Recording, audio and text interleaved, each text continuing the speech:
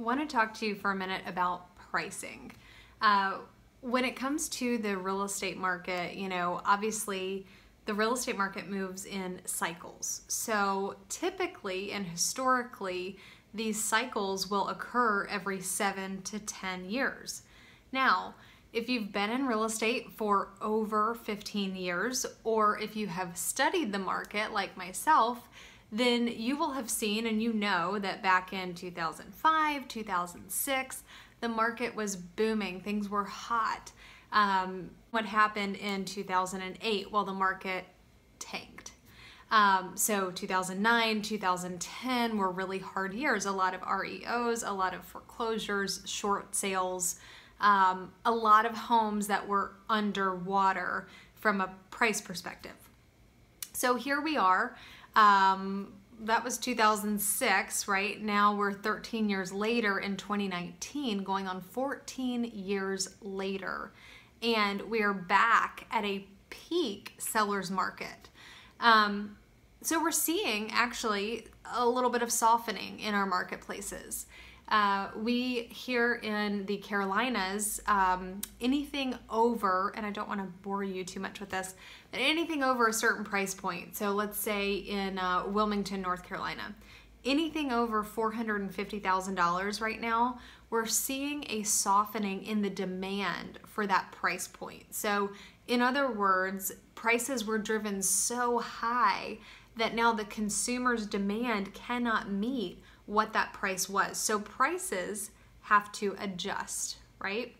Um, in Charleston, South Carolina, we're seeing the same thing in hyper local marketplaces. So the luxury listing market, at least in the Carolinas, is starting to flatten or soften. If you're seeing something different in your local market here in the Carolinas, let me know. I'm, I'm really interested in these types of things.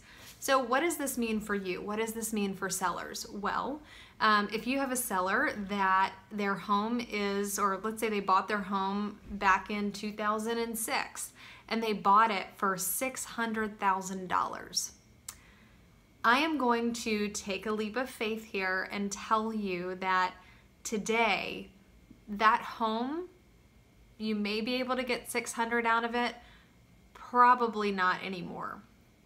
If you're in a market where you're seeing luxury listings are still appreciating in price, like I said, please let me know. However, what we're seeing is a softening. So I encourage you be able to have these conversations with your sellers or potential sellers.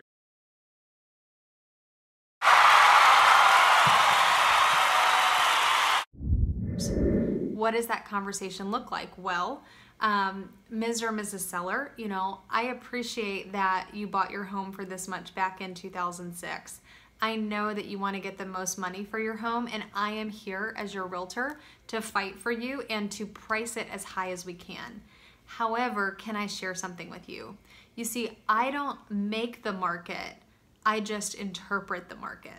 Very key line. I don't make the market, I just interpret the market.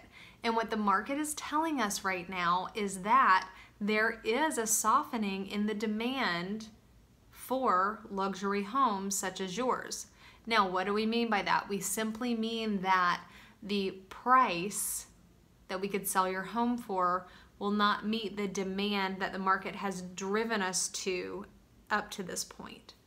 So we may have to price a little below market value, 5 to 10%, to stay relevant to buyers, prospective buyers who would be eligible, who may be eligible to buy your home.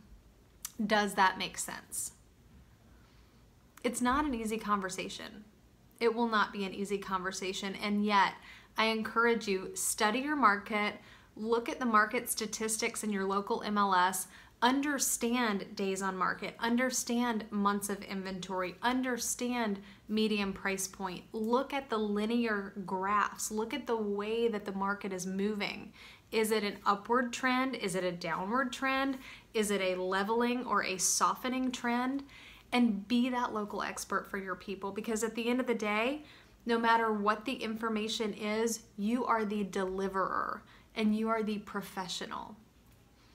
So get out there, price homes correctly, and help your sellers really self discover what they can sell their home for because, after all, you don't want to price a home and have it sit on the market for months and months and months. Trust me, that's no fun. So I hope this video was helpful. You guys have a great day.